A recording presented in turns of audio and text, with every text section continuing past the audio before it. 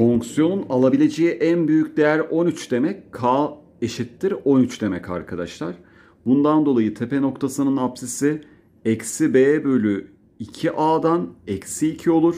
f eksi 2 eşittir eksi 2 çarpı 4 eksi 8 artı 16 artı a eşittir 13.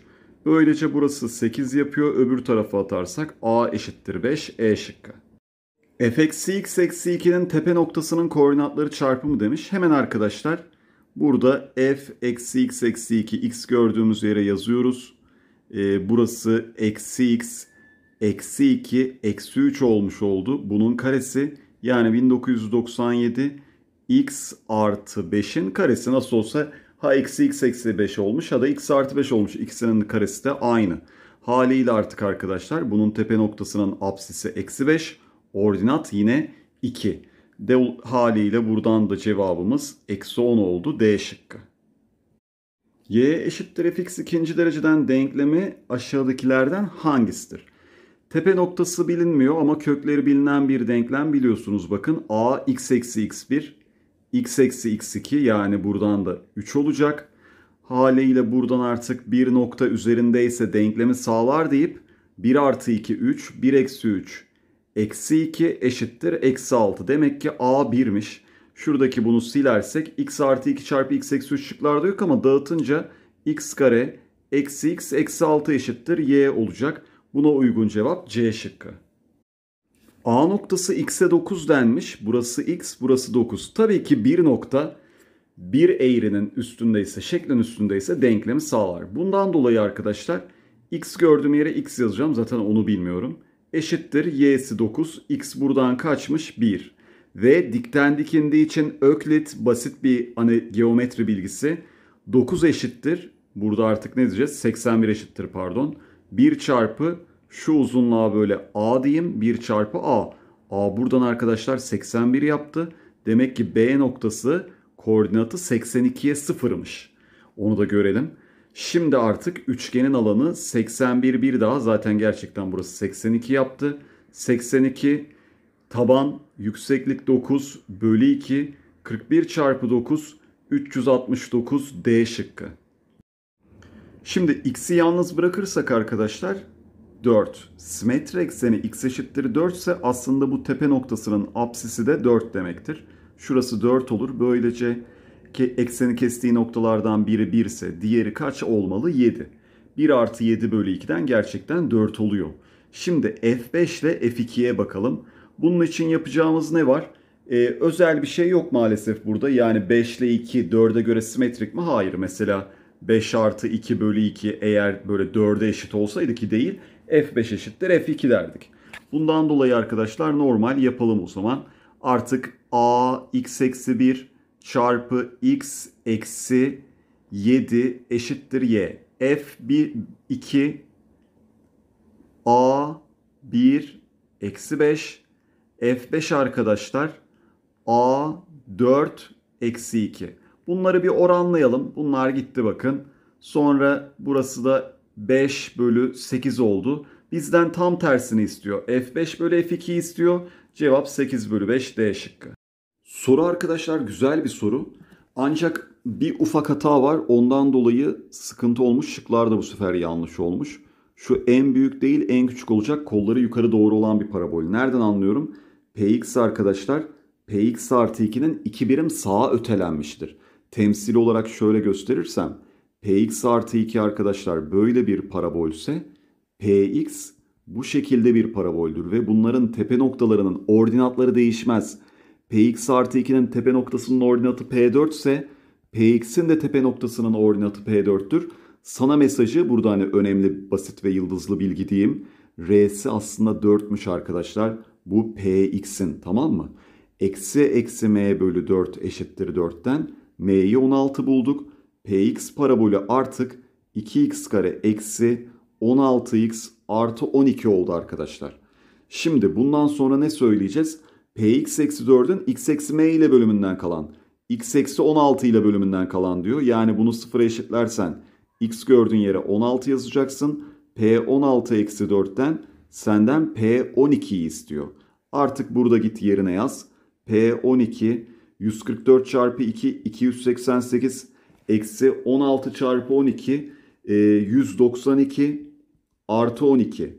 Burası arkadaşlar eksi 100 şey 108 nereden çıktı? Eksi 180 böylece 288 eksi 180'den de 108 oldu. Şıklarda yok ama doğru cevabımız bu arkadaşlar. Söylemiş olayım.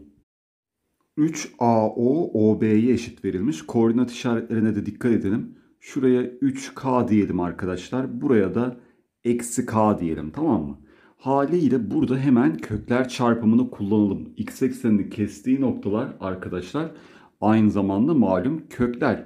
Böylece 3K çarpı eksi K'dan eksi 3K kare kökler çarpımı yani C bölü A'dan eksi 12 K kare 4 oldu. K arkadaşlar 2. Haliyle burası 6 birim burası eksi 2. Kökler toplamı 6 artı eksi 2 4 yapacak. Eksi b bölü a'dan m'ye eşit. m zaten direkt gördüğünüz gibi 4 geldi a şıkkı.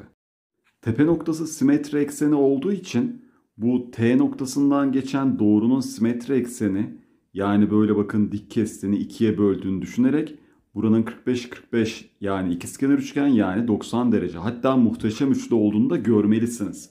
Birazcık geometri bilgisi kullanmış olduk. Böylece 2 birim, 2 birim, 2 birim oldu.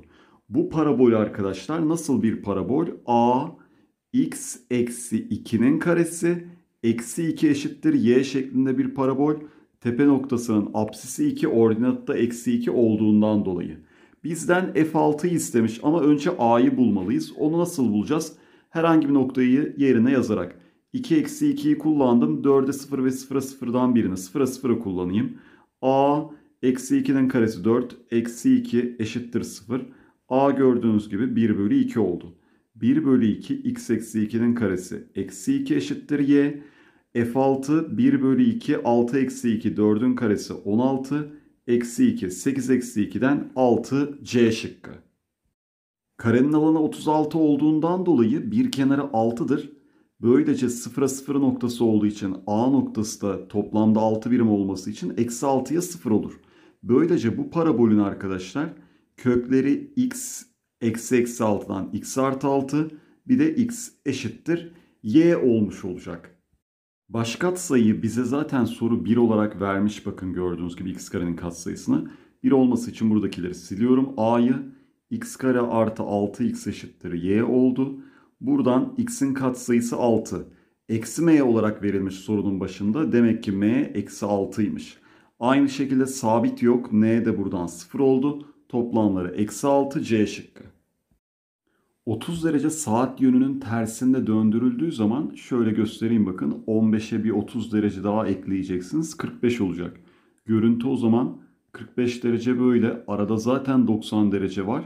Burası da böyle 45 olacak. Haliyle şöyle bir tepe noktası A noktası ve bunun uzunluğu 4 kök 2 verildiği için 4 4. Demek ki 4'e 4 noktası olan bir parabol.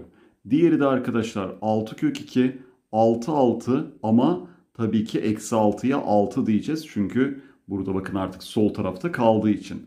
Demek ki baş katsayısı da 1 olduğu için a yazmaya gerek yok. Birinci parabol x artı 6'nın karesi 6 eşittir fx olsun. f diyelim buna. Tepe noktası bilinen bir parabolün denklemi a çarpı x eksi r'nin karesi artı k'ydı. Diğeri de aynı şekilde baş katsayısı yine 1. x eksi 4'ün karesi artı 4 eşittir ona da gx diyelim. Bunların kesim noktaları sorulmuş. Kesim noktası demek y'leri hani y y olduğu için birbirine eşitleyebiliriz demek. x artı 6'nın karesi artı 6 eşittir x eksi 4'ün karesi artı 4. Buradan x kare artı 12x artı 36 artı 6 eşittir x kare eksi 8x artı 16 artı 4. x kareler gitti. 20x eşittir. 20 öbür 22 öbür tarafa attık. Eksi 22 oldu. Böylece arkadaşlar artık şunu söyleyebiliriz. Eksi 22 mi oldu bakayım bir. Evet eksi 42 attım buraya. Evet eksi 22'ymiş. 2'ye bölersek sadeleştirirsek eksi 11 bölü 10'muş. Kesim noktalarının apsisi A şıkkı. Bir kenarı x ise diğer kenarının da 60 eksi x olması lazım. Alan da arkadaşlar x çarpı 60 eksi x olacağı için eksi x kare artı 60x'tir. Haliyle bu alan ax denklemi dersek bir parabole döndü. Bunun tepe noktasının apsisi 30. Böylece alacağı en büyük değere bakalım. a 30 eşittir eksi 900 artı 1800 eşittir 900. Yani tepe noktası 30'a 900'den geçmesi gerekiyor. 30'a 900 olan nokta var mı hiç başka? Yok. Sadece arkadaşlar A şıkkı bu duruma uygun. Kolları da aşağı doğru. fx ikinci dereceden fonksiyonu için fx artı 2 eşittir x eksi 1 denklemini sağlayan x değerlerinin toplamı demiş. Parabol arkadaşlar verilmiş ama bizden fx artı 2 bekleniyor. Hemen burada yapacağım iş nedir? fx parabolünü bir önce bulmak. Bunun için de kökler eksi 1 ve 3 buna dikkat edin. Bir de 0 verince eksi 2 geliyormuş. Eksi 2 a çarpı 1 çarpı eksi 3. Böylece a arkadaşlar 2 bölü 3 oldu. Şimdi y eşittir. Artık yeni durumda fx artı 2 yapacağım ya. x gördüğüm yere x artı 2 yazıyorum. 2 bölü 3 x artı 2 bir daha x artı 3 ve arkadaşlar x artı 2 eksi 3'ten x eksi 1. Bunu da gideceğiz x eksi 1'e eşitleyeceğiz. 1. Bunları sadeleştir tamam ama hemen x'in 1 olduğunu da görmeyi unutma yani köklerden bir tanesi 1. E, sadeleştirdiğimiz zaman da 2 bölü 3 çarpı x artı 3 eşittir 1 olur. İçler dışlar çarpımı yaparsak 2x artı 6 eşittir 3. x de arkadaşlar eksi 3 bölü 2 oldu ikinci kök. Çarpımları alacağı değerlerin 1 ve eksi 3 bölü 2'den a şıkkı.